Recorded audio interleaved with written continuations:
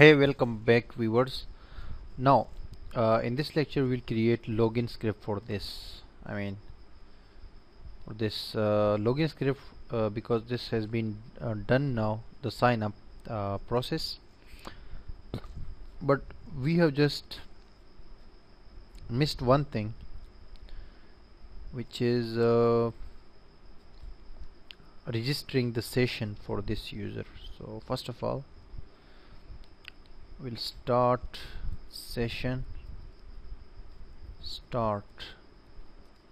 The top of the page and then we will register the session here in the else situation.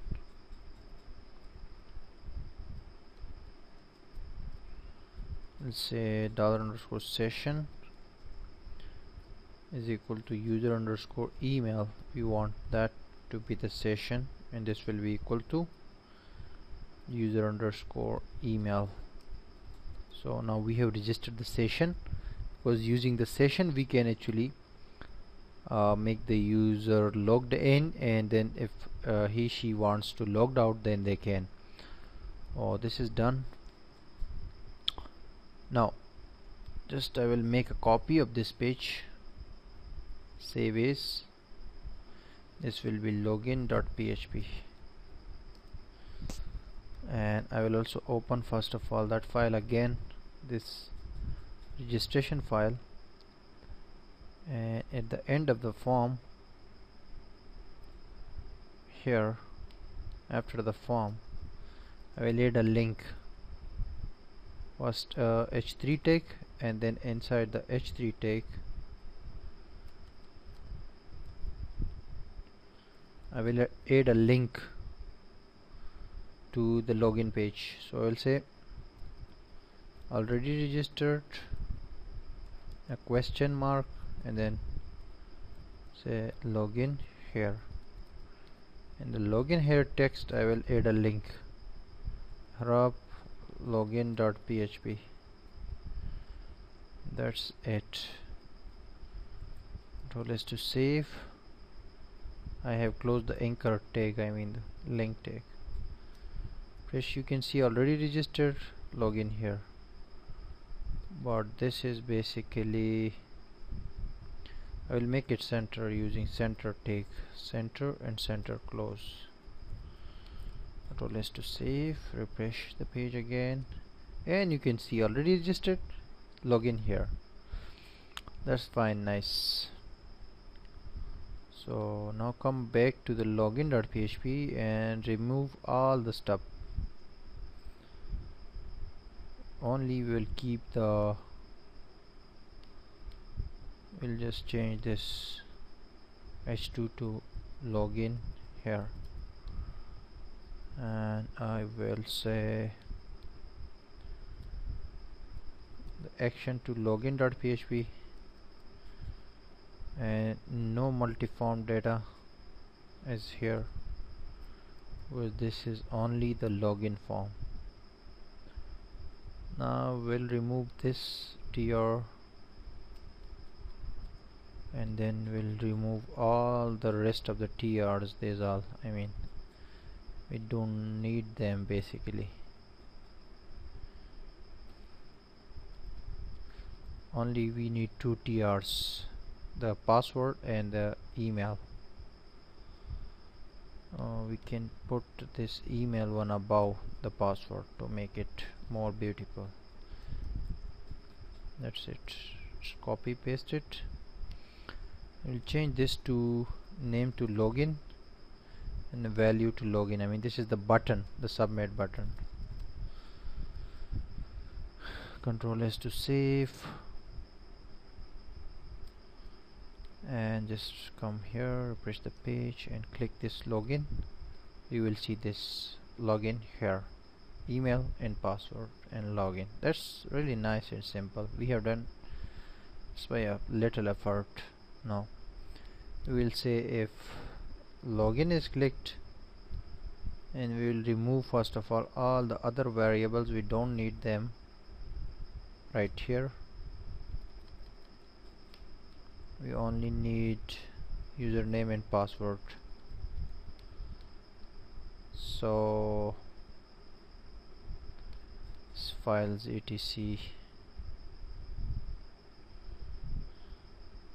All the stuff I have just removed. We only need this user password and user email. Now let's create the query for this. Just sel means select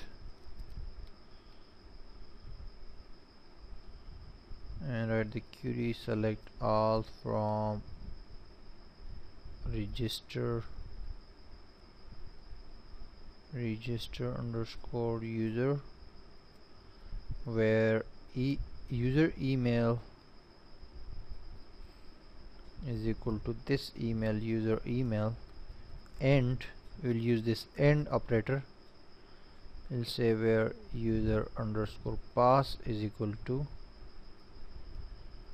user pass. Sorry user pass. Because we want to just verify both of the user email and user password because we need them both of them. And after this say run is equal to mysql uh, run is equal to mysql i query. Connection is the one parameter and sel is the second parameter. This variable which has this query. Now we will just simply say check. Create a check variable local variable. This will be equal to mysql i underscore number underscore rows say connection uh, sorry this variable run. That's it. Now if check is equal to 0 I mean there is no such kind of user existing in the table I will say echo or just I will copy this whole thing from registration.php page right here.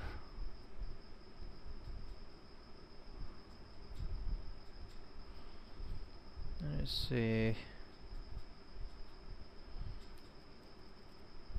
Password or email. Email is not correct. Try again if the case is zero means we don't have a user with uh, with this uh, you know login credentials. So we can just put this message if there is no user with us. In else condition we will say first of all create the session for this user and the session will be user email basically. That will be equal to user email. That's it. Uh, in the next uh, we will just again copy this javascript echo. And we'll just redirect the person to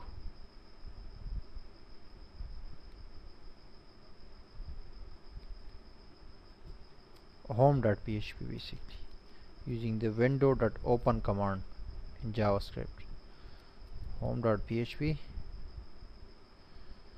and it will be a self window. That's it. Really nice and simple. Now come here.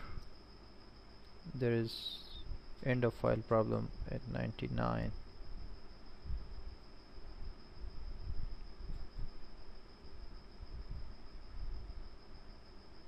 oh we have just forgot to add curly brackets for the isset.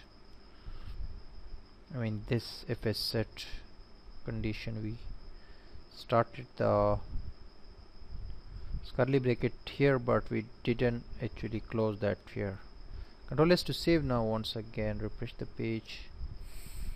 And if we click login so it will say please out please fill out this form so we cannot do that and now the password is Wali Khan and this is the email. So uh, if I add something wrong for example the email is the same but the password is wrong. So if I click it will say please password or email is not correct. Try again. That's it. If I say okay this is my email correct email this is the correct password and it is now just taking me to the home page and I'm logged in that's fine nice. So we have simply created the login form login.php page for this and the I mean the second page we already had this one. I mean the sign up or registration form. Now we have the login form as well and both are working perfectly nicely but in the next video in the next lecture the uh, we, uh, will create I mean the logout form if someone wants to log out so they can be I mean logged out. Or also I need to add a link to this page I mean to login I will add a link here as well. Let's copy this link, uh, link from here from the registration page.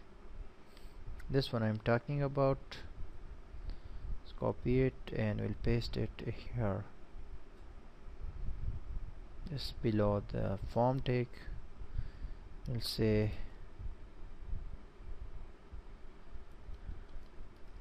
new here register here and change the page to registration.php that's it. Press the page and you can see new here so person will go to this form and if uh, they have they are already registered they will come to this. So this is all dynamic now.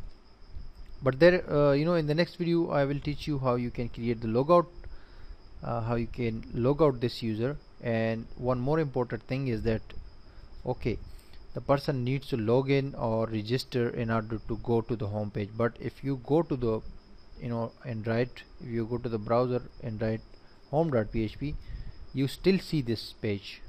Why? Because the person is not yet logged in or registered but anyone can just direct go and can see home.php so this is something that we need to overcome because when you go to Facebook and you just uh, log out you know I'm, I'm logged out of out of Facebook so when I go to and write Facebook so I cannot log in. I need to actually put the info. The page remains the same when I put my email and uh, password and I logged in but the page remains the same I mean facebook.com so therefore there is a logic behind it. And we will use that in the next uh, lecture and also we will create the logout page in the next lecture. So be with me